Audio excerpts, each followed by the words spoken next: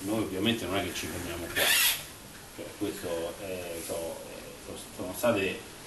parte delle attività che ci hanno permesso all'interno dei, dei, vari anni in cui abbiamo operato di arrivare a questo punto,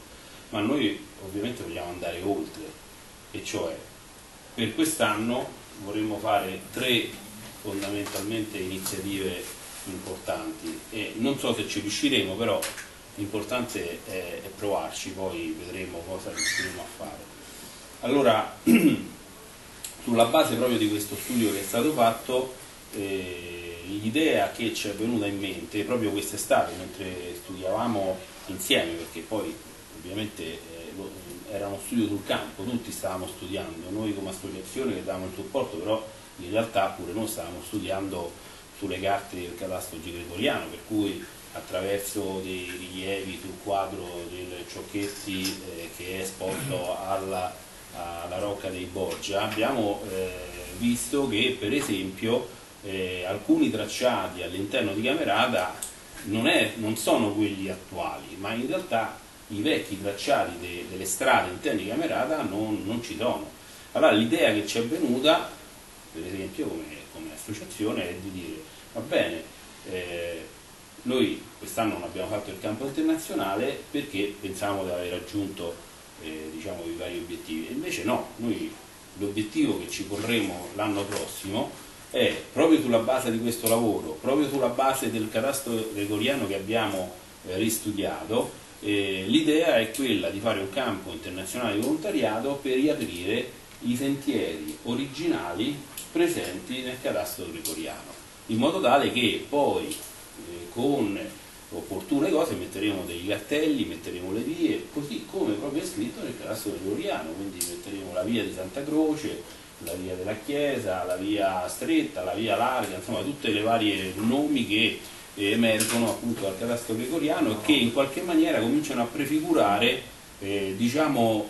quell'ipotesi che noi abbiamo da tanto tempo, che è quella di creare una sorta di museo a cielo aperto che funga da attrazione turistica per questo nostro territorio e noi sappiamo che l'attrazione turistica poi a sua volta porta, porta gente eh, porta la possibilità di poter aprire delle attività economiche che possono essere bed and breakfast, possono essere agriturismi, che possono essere ristoranti, eh, somministrazione e così via. E, e quindi il campo internazionale che vorremmo fare quest'anno verterà su questo obiettivo. Eh, contemporaneamente, e non so se ci riusciremo, però questo poi, quindi diciamo questo è, sta nella nostra alla nostra portata perché abbiamo già fatto due campi internazionali, quindi voglio dire, sta, sta nelle nostre possibilità di fare il terzo, gli obiettivi ce l'abbiamo, oltre alla ripulitura e la manutenzione del sito che purtroppo eh, bisogna dire le cose come stanno, quest'anno il parco ha dato la disponibilità di eh, fare questa eh, eh manutenzione, quindi il taglio dell'erba, insomma che, che cresceva, eh, però purtroppo dobbiamo registrare da parte del parco eh, diciamo, purtroppo uno spreco dei soldi pubblici che eh, noi come associazione non ci siamo sentiti di appoggiare. Perché, perché nel momento in cui al, al parco noi chiediamo signori ci servono dei cespugliatori e falcetti eh, insomma se vengono quattro persone con un decespugliatore significa che noi abbiamo tre persone che stanno ferme e una persona col decespugliatore che ovviamente vide tanto un po' fa per cui alla fine che è successo? è successo che per tre giorni sono venuti quelli del parco dopodiché abbiamo detto signori scusate non venite più è inutile che venite perché sinceramente io essere complice dello spreco dei soldi pubblici non mi sta bene e ce lo siamo fatti da soli insieme eh, diciamo all'università che ha messo a disposizione una, persona che ci ha dato la mano e quindi ci siamo messi due o tre persone noi con un paio di, di circuiatori nel farcetto e abbiamo fatto il resto da soli. Quindi quest'anno probabilmente questa cosa non ci sarà bisogno perché se facciamo il campo internazionale ci penserà il campo internazionale. Però ecco, non ci va di sprecare i soldi in questa maniera. Senza contare che poi la terza giornata sono venuti in cinque persone con due macchine che non si capisce con quale logica chiusa parentesi, Parco dei Monti di. E Per quanto riguarda il discorso eh, del, del, del, campo internazionale, questa è la nostra ferma attenzione farlo. Dopodiché vorremmo lanciare e rilanciare l'idea eh, di fare una cosa molto importante, cioè proprio in virtù di quello che ha detto Paolo, che è comunque l'idea che ci sta eh, bazzicando da un sacco di tempo intorno alla nostra mente, cioè quella di fare in modo che nel momento in cui noi siamo lì, eh, il visitatore ha la possibilità di essere guidato all'interno del, del, paese. Allora questo come si può fare? Allora questo si può fare dal punto di vista tecnologico, e qui purtroppo esce fuori la mia vocazione da informatico, insomma, che è la mia devianza diciamo, informatica, è che uno mette un piccolo server a disposizione geolocalizzato per cui la persona con uno smartphone attivato in wifi, praticamente nel momento in cui sta camminando dentro Camerata, automaticamente un'applicazione, un'apps, come si dice in gergo, che può essere nei vari sistemi operativi,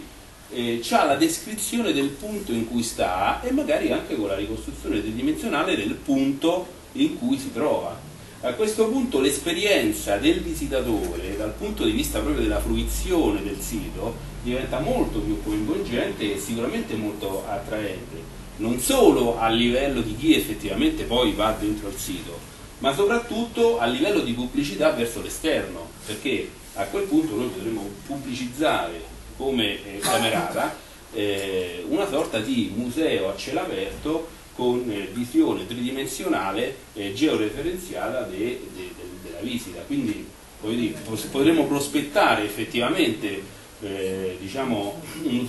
un, eh, un, modo di usufruire diciamo, un, un, sito archeologico sicuramente in termini innovativi e, e di attrazione globale. Per far questo però c'è ancora molto da lavorare, c'è molto da lavorare sicuramente non è, non è solo sufficiente gli sforzi eh, di volontariato insomma, che noi stiamo facendo come associazione e, e di tutti diciamo, coloro che intorno a noi, insieme a noi, stanno facendo queste cose, ma eh, però vorremmo raccogliere un po' di soldi per fare queste cose. Se non altro noi ci siamo concentrati su due obiettivi quest'anno, perché sono comunque fondamentali. Allora, il primo obiettivo è quello di iniziare scavi archeologici a Camerata per avere ulteriori informazioni sul sito stesso che permettono eh, una maggiore informazione su, eh, sul eh, Paolo già ha fatto un prospetto dei costi e tutto quanto, quindi già abbiamo un'idea di massima su come partire. L'altro progetto che stiamo dicendo da tanto tempo però fa parte de, di quello che vorremmo fare, vedremo se ci riusciremo, però è una scommessa, come tutte le scommesse si possono vincere, si possono perdere, però l'importante è crederci e, e scommettere su quello. Magari non ci riusciremo entro il prossimo anno, però magari tra due anni, eh, coinvolgendo tutte le energie possibili e immaginabili, magari riusciremo pure a farlo, è quello che proprio sul lavoro che è stato fatto quest'estate eh, fare proprio un progetto di ricostruzione globale e tridimensionale di tutto l'abitato di Camerata Vecchia, proprio nella logica che dicevamo prima e che in parte diceva Paolo e in parte che dicevo io. Su questo l'idea che sta venendo in mente, il sindaco sicuramente ne sa più di me, considerando che dei soldi ce ne stanno pochi, l'idea che ci è venuta in mente diciamo, vabbè, proviamo a fare un progetto di crowdfunding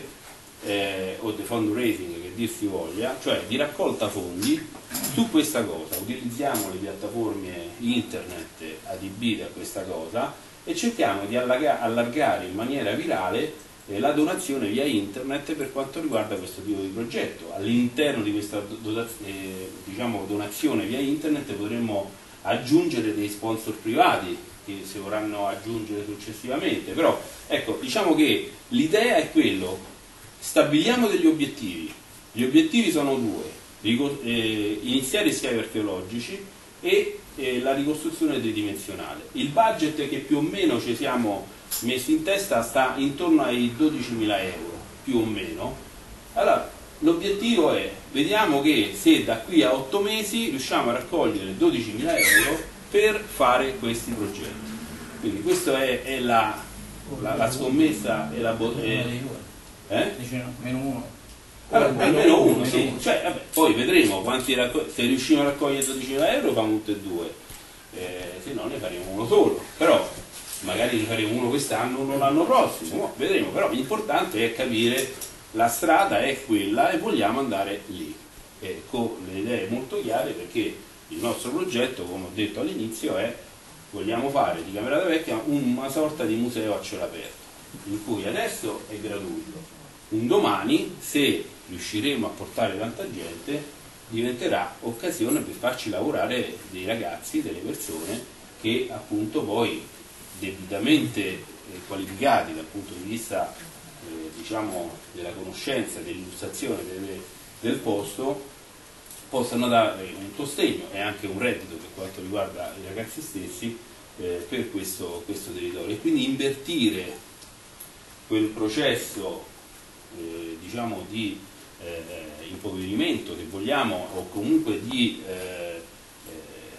eh, migrazione, che, di spopolamento che purtroppo questi paesi sono soggetti insomma, su questo versante. Quindi ecco, queste sono due delle tre delle iniziative, appunto campo del volontariato internazionale, scavi archeologici e, e, e il discorso de, della ricostruzione tridimensionale. Poi c'è sta un altro discorso che per noi è molto importante che riguarda invece una cosa che purtroppo è, un, è una cosa che noi, noi siamo fissati, insomma, è lo sviluppo di questi territori, non intesi come camerata e basta. Cioè noi dobbiamo anche avere la visione di un territorio vasto. Eh, camerata da sola probabilmente non ci avrà mai le forze per poter allargarsi. Allora mh, noi dobbiamo trovare il modo di individuare questi territori a livello globale L'idea che noi abbiamo sempre portato avanti in, questo, in, questo, in, questo, in questi periodi, insomma in altre iniziative, quest'anno l'abbiamo enfatizzato di meno, però tutta, ci sta tutta dentro, è quella di individuare queste terre, queste zone in cui abitiamo. Eh, perché noi siamo nel carne e nel pesce come territorio, dice ma poi dove state? Allora comincia a dire la Valle Aniene, al confine con l'Abruzzo, la Valle del Cavaliere, insomma, gira che te rigiri non si capisce se sei carne che sei pesce. Allora, però se dici Camposecco lo conosco. Eh, Camposecco è più conosciuto perché col fatto di Trinità e dei film western, insomma, però insomma non è che potevo passare. Eh, sì, sì. Dicono dove tu abiti, tu vicino a Camposecco dove hanno fatto il, il film di Trinità. Insomma, vabbè, non mi sembra il top, però ci sta, ci mancherebbe. Eh, dopodiché l'idea che, che, noi portiamo avanti da tanto tempo è il discorso di individuare questi territori come le terre degli equi. Perché le terre degli equi? Perché in realtà le terre degli equi evocano sicuramente una storia più antica, una storia antica, più antica degli antichi romani, perché gli equi c'erano prima dei romani.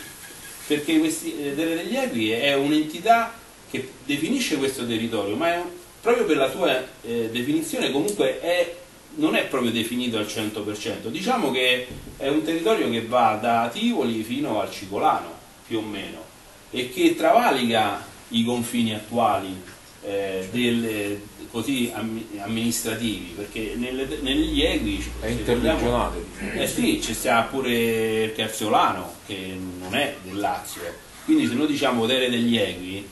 e pubblicizziamo Terre degli Egui, andremo a pubblicizzare una zona larga all'interno della quale non ci rientrano il Lazio, l'Abruzzo, la provincia di Roma, la provincia dell'Aquila, la provincia di Rieti e così via,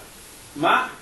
i paesi che effettivamente stanno in questa zona che, specialmente per quanto ci riguarda noi, e che è un problema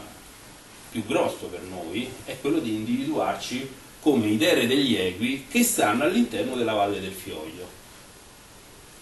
Perché? Perché adottando un meccanismo di logica di, appunto, eh, di localizzazione allora e senza perdere la propria identità, che ricordiamo che è un'identità millenaria, cioè se i paesi stanno così, e Paolo dal punto di vista storiografico nella sua tesi l'ha spiegato molto bene, è perché dietro c'è una storia, storia fatta da confini che eh, arretravano, avanzavano, diminuivano, si univano e, e così via, nell'arco, nell'arco dei secoli. Allora non è che noi arriviamo adesso e azzeriamo la storia, però dobbiamo tenerne appunto conto per però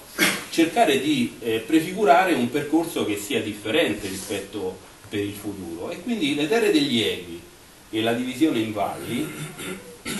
è quella che in qualche maniera permette da una parte preservare il proprio localismo che comunque è importante e va preservato dall'altra eh, indicare un'entità eh, sovra eh, sovracomunale, cittadina che permette appunto come brand eh, eh, per essere visibili, per poterlo vendere, per poterlo pubblicizzare, per poterlo eh, propagandare, essere estremamente efficace per una campagna di marketing e di promozione. E ovviamente questa proposta non è cioè, eh, che uno se l'ha inventata così, abbiamo fatto uno studio, abbiamo visto eh, osservato come hanno fatto in altre regioni. Cioè, l'esempio che eh, c'è stato molto d'aiuto è stato quello, l'esempio del Trentino Alto Adige. Il Trentino Alto Adige, quando eh, propaganda i propri agriturismi, che fa? Propaganda il Trentino Alto Adige. Tu dove sei stato? In Trentino. Dove sta Trentino? Vai a vedere, è una zona immensa. Poi all'interno del sito del Trentino ci sono le varie valli, vari valli, quindi c'è la valle in cui ci stanno 1, 2, 3, 4, 5 comuni, un'altra valle che ci stanno 2, 3, 4, 5 comuni e così via, in modo tale che ognuno ha la propria identità dentro la propria valle dentro il proprio comune. Però a livello di brand che viene pubblicizzato è il Trentino, quindi tutti conoscono il Trentino, però nessuno conosce, conosce le singole valli.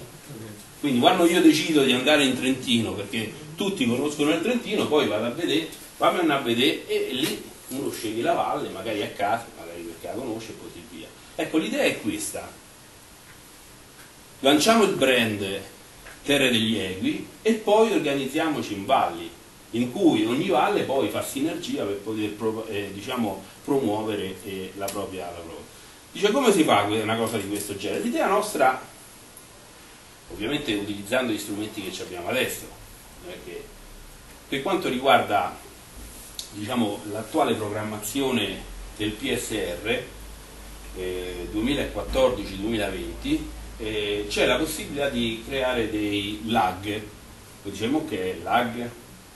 eh, lag sta per Local Action Group eh, e sarebbe più conosciuto come GAL. Dice perché, allora perché mi chiamate GAL che tutti conoscono il GAL? perché noi vogliamo comunque segnalare un elemento di discontinuità rispetto al passato. Il GAL è passato, perché? Perché i GAL fino adesso sono stati sempre un elemento che dall'alto veniva calato all'interno dei territori proprio per spendere dei soldi in maniera estremamente discutibile. Invece le normative europee in questo senso le chiamano LAG,